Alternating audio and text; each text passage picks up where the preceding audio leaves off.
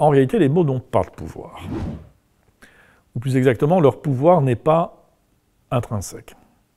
Je veux dire par là que les mots ont le pouvoir d'abord des bouches qui les prononcent. Un mot a le pouvoir de qui le dit.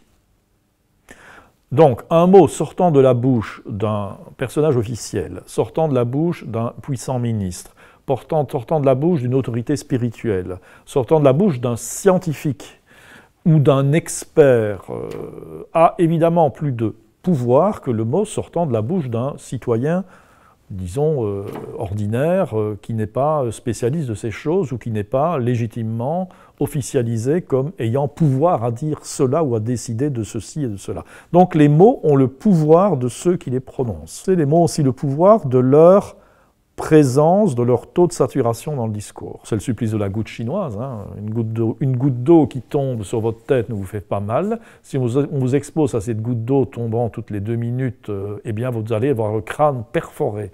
Eh bien la, percussion lente des mots qui se répètent finissent par perforer le cerveau. on résiste par euh, d'abord un vocabulaire. En élargissant un peu son vocabulaire, on élargit un peu sa pensée en élargissant le champ de ses lectures, en lisant autre chose que euh, la Meuse ou la dernière heure tous les jours, le soir par exemple, eh bien, on évite peut-être de tomber dans toutes les ornières dans lesquelles on nous propulse.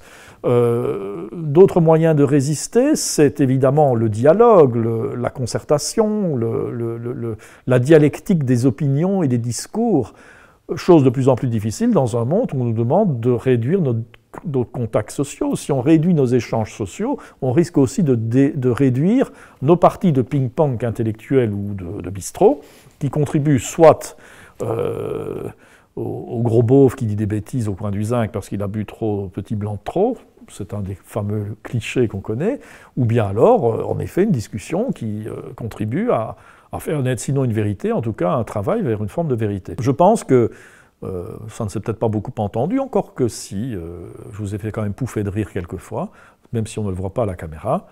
Une des résistances contre le pouvoir, c'est le rire.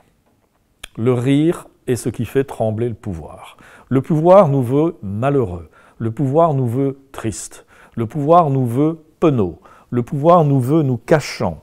Euh, le pouvoir nous veut effrayés et silencieux. Eh bien non, je pense qu'il faut parler, qu'il faut ricaner, qu'il faut rire, qu'il faut se moquer, euh, et qu'il faut en effet euh, secouer l'esprit de sérieux euh, par le rire. le rire est une arme, je crois. Si on ne rit que, devant une comédie, c'est assez pauvre. Il faut rire aussi devant le tragique, il faut rire aussi comme un sursaut de vie en quelque sorte. Eh c'est peut-être un cliché, mais il n'est pas si bête que ça.